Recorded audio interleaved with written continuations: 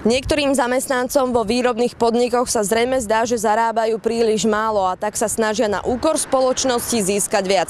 To, že v prípade odhalenia na nich čakajú tvrdé tresty, si nepripúšťajú. Podobne to dopadlo aj v banovskej firme na výrobu svetiel. Po niekoľkomesačnom intenzívnom vyšetrovaní odhalili trenčianskí kriminalisti Krajského riaditeľstva policajného zboru páchateľov rozsiahlej trestnej činnosti vo firme zaoberajúcej sa výrobou svetiel v našom meste. Vyšetrovateľ Krajského riaditeľstva policajného zboru v Trenčine odboru kriminálnej polície obvinil 6 osôb, z toho 5 mužov a jednu ženu, z obzvlášť závažného zločinu krádeže, spáchaného formou spolupáchateľstva a zo zločinu podielnictva, taktiež spáchaného formou spolupáchateľstva.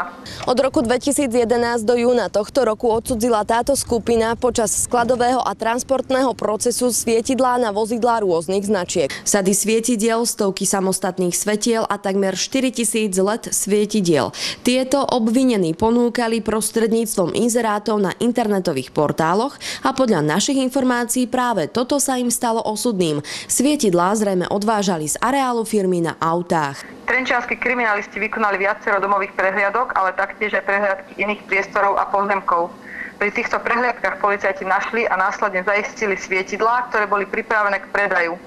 Okrem svietidiel zaistili rôzne elektronické nosiče dát, dokonca aj 74 podacích lístkov z pošty do zahraničia a notebooky. Poškodenej spoločnosti z Banovic nad Bebravou vznikla škoda vyčíslená na asi 228 tisíc 28 eur. Vyšetrovateľ spracoval podnet na návrh na väzobné stíhanie obvinených. Sudca okresného súdu rozhodol, že šestica obvinených bude stíhaných väzobne. V uvedenom prípade ešte stále prebieha policajné vyšetrovanie a nie je vylúčené, že obvinených bude aj viac.